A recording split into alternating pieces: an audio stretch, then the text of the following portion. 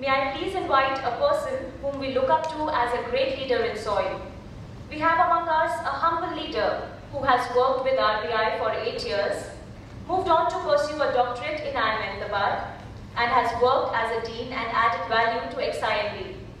We are very fortunate to have him as the Dean of School of Inspired Leadership. Ladies and gentlemen, please put your hands together for Dr. Subhajyoti Ray. Thank you, Priya, for this uh, welcome and introduction. Good morning to everybody, and, uh, and very warm welcome to the Inspired Leadership Conference.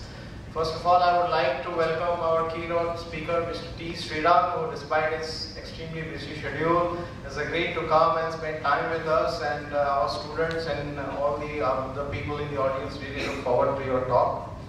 I would also like to welcome our industry consortium members who have continuously supported us for the five years of journey that Soil has had and without their support we wouldn't be where we are today. So very warm welcome to our industry partners. Our soil innovation program partners, all the NGOs who are pillar, who, who fulfill the pillar of compassion by allowing our students to work with them on long duration projects. We will, I would like to welcome on behalf of the entire SOIL family, the, our uh, NGO partners, members of the faculty, the staff, the current students, some potential students, friends from the media and the press. I welcome you all to this very important and uh, flagship event of SOIL. And last but not the least, we would humbly welcome Mr. Anil Sachdev, the CEO and founder of SOIL, who has shown what soil is about to the rest of the world and whose inspiration flows through all of us who work in soil and who are going to be associated with soil in the future. As uh, Priya was talking about the conference, about innovation, and as you will learn subsequently that we have uh, scheduled sessions parallelly on competence, character, and enthusiasm, I am reminded of a story of grade 1. And these are the only stories I read these days because of my son who is 7 years old. And this story is about a thirsty crow. And we all have heard about this thirsty crow story. Uh, when the crow is thirsty, there is no usual bottles where the crow can, you know, quickly drink some water and uh, move on. So it's really hard time for the crow to get water.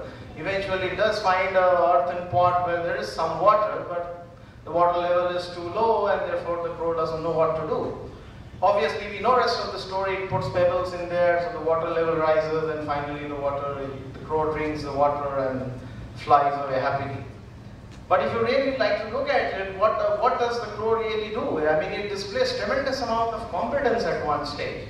Because when it's looking this, when it finds that the water level is not really to the level from which it can drink, it asks the right questions. If I can't reach the water, can the water reach up? Number one, it also is not stuck to the issue of the pot and the water. It looks for solutions outside. It broadens its thinking and it takes a whole system's approach. Maybe an idea of a pebble strikes to it. And therefore it starts putting in pebbles there. So it displays tremendous amount of competence to do this little problem, solve this little problem. Then it also displays enthusiasm. One pebble doesn't do the trick. It puts pebble after pebble after pebble till the water rises sufficiently enough for a crow to drink. So it is a great example of enthusiasm that it displays there. Now all this would not have happened and this would not be a story which we would all be familiar with if the crow didn't have character. Suppose the crow had thought of breaking the pot with its beak or trying to topple the pot and you know waste the water, drink and fly away and not be mindful of the fact that you don't you drink only the the amount you need and leave the rest for others. Or it might be a sustainable way of it. In other words, if it had not developed character, the solution that the crow finally reached to would not be an innovative one and it would not be a story that we all are so familiar with.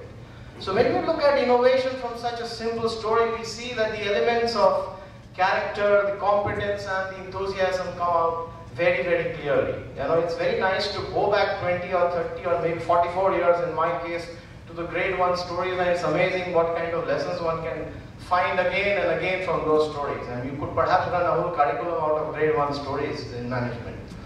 So, uh, I mean, this is what, uh, uh, you know, struck me and, this, and therefore if this is so true and so, uh, you know, uh, in a, such a simple kind of a context, it will be amazing to know what is going to happen when you talk in, the same language in the terms of in an organization context which is far more complex.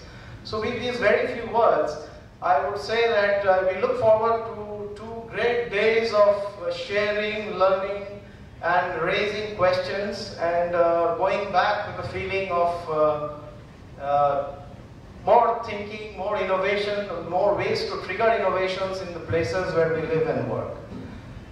Um, so I would now finally end my speech by welcoming Anil and asking him to share his thoughts.